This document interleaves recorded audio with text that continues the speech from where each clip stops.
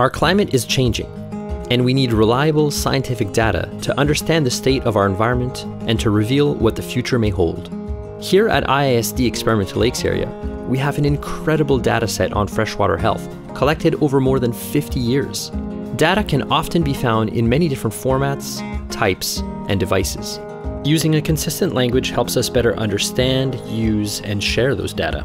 That's why we're working hard to digitize our dataset. If you think about it, environmental data is kind of like your music collection.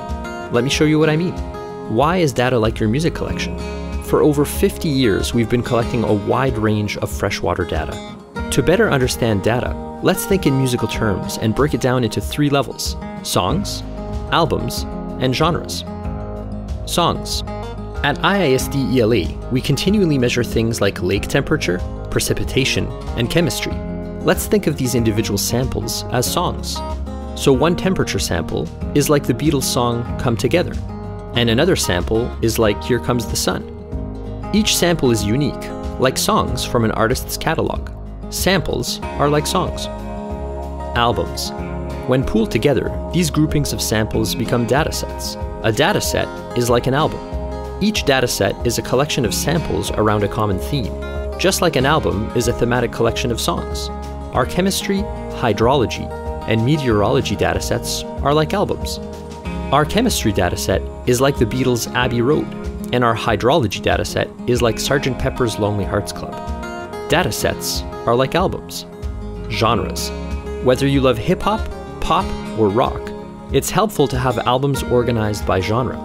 When you search for new music on your favorite app, or when you walk into a vinyl store, you'll likely search for music by genre.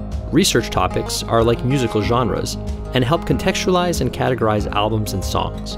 Research topics like algal blooms, climate change, and plastics pollution are like hip hop, rock, and pop. So research topics are like genres. And over the last half a century, we've amassed a huge music collection of many songs, albums, and genres. How is digitizing data like updating your music collection? Over the years, the way we record and share music has evolved from analog to digital, from records to tapes to CDs to digital files like MP3s, maybe even back to vinyl again.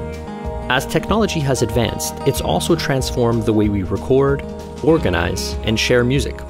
In a similar way, we've collected data from our lakes using increasingly sophisticated methods, from jotting down data points on the back of envelopes to using digital trackers. In the end, the music, or data, is more important than the format on which it's stored. When music evolved from analog to digital, most of us had to go through the process of updating our music collections. Music that existed on tapes and CDs are now in digital formats. That allowed for better organization, for content to be quickly sorted and searched by album, artist, song, or genre, and allowed people to create new and exciting playlists that mix and match different songs from their collections to create something completely new. Environmental data is similar. Once everything is digitized, you can more clearly sort and understand data, look for trends, and reconfigure it in different ways. What does digital data enable us to do? As with your music collection, digital data opens up more possibilities for sharing, collaboration, and remixing. Let's start with sharing. Digital music has allowed for a larger number of music fans to access songs, albums, and genres that they wouldn't have had the opportunity to experience before. Digital data opens up the same potential for scientists to access and use those data, perhaps noticing things that had not been seen before, or using data in new, innovative ways we couldn't anticipate. Sharing also encourages reciprocity within a community, which allows members to pool their resources. That brings us to collaboration.